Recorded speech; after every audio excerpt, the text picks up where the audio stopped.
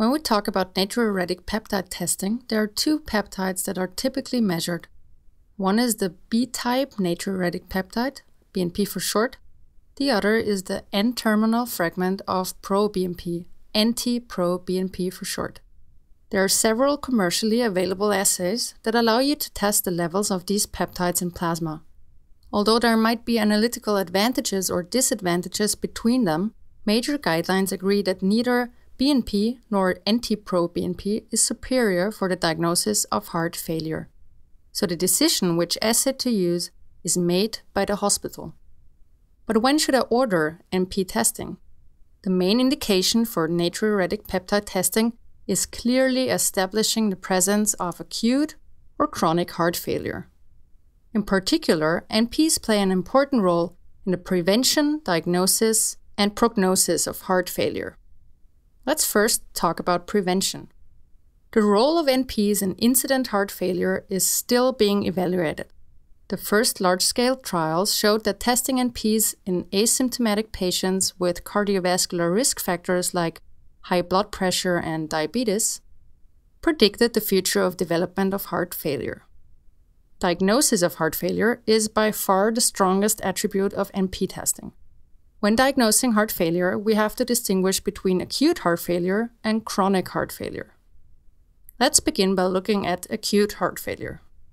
Patients with acute symptoms of heart failure most often present in the emergency department. The main symptom of acute heart failure is dyspnea, but dyspnea can have many causes. So, how do you know it's heart failure?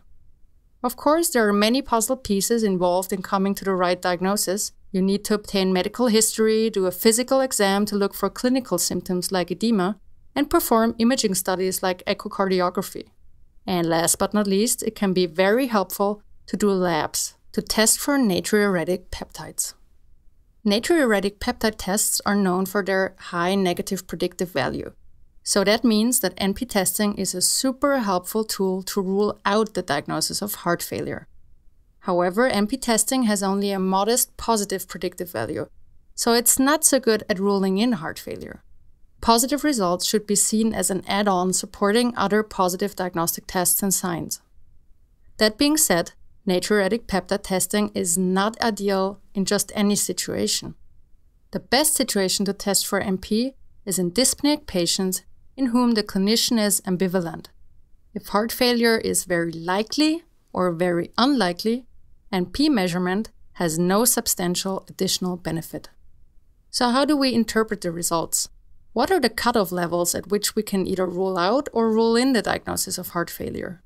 It is important to remember that BNP and NT proBNP are two different assays with different reference values.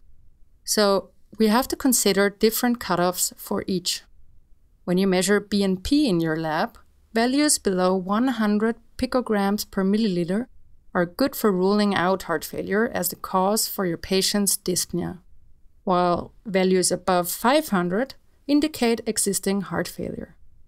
When you measure NT-proBNP, values below 300 picograms per milliliter rule out heart failure as the cause of dyspnea at any age. For NT-proBNP, there are age-related cutoffs in favor of heart failure. 450 for individuals younger than 50 years, 900 between the age of 50 and 75, and 1,800 for individuals older than 75 years.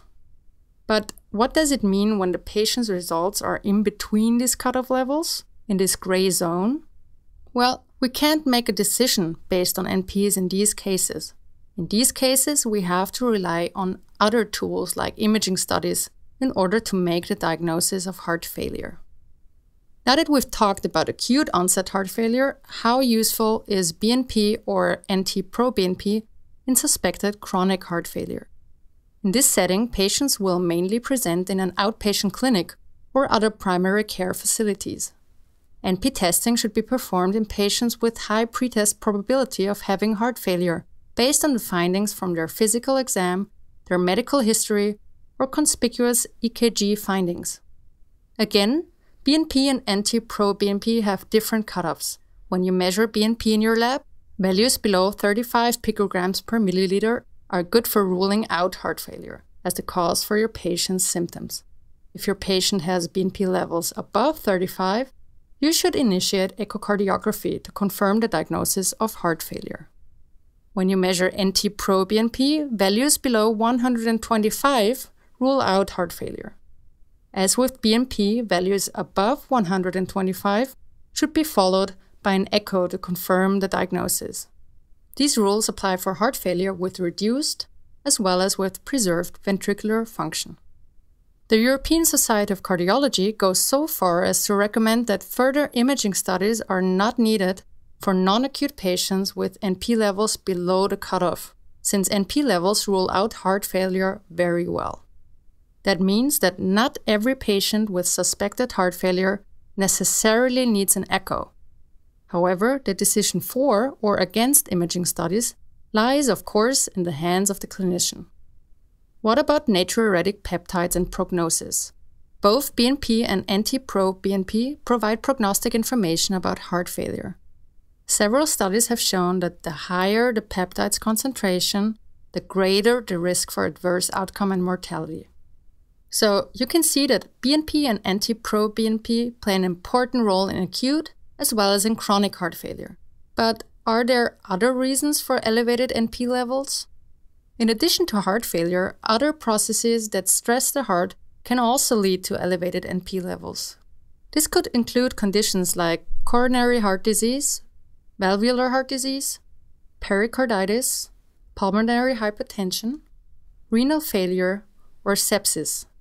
This emphasizes how important it is to not only focus on NP values when diagnosing heart failure, but to also use your own clinical judgment in order to make the diagnosis. So, what are my take home messages for you? Well, first, BNP and NT-proBNP are very good lab markers to rule out suspected heart failure. And two, both lab markers can support the diagnosis of heart failure in patients with suggestive clinical symptoms. So I hope you liked this video. Absolutely make sure to check out the course this video was taken from and to register for a free trial account which will give you access to selected chapters of the course. If you want to learn how MedMastery can help you become a great clinician, make sure to watch the About MedMastery video. So thanks for watching and I hope to see you again soon.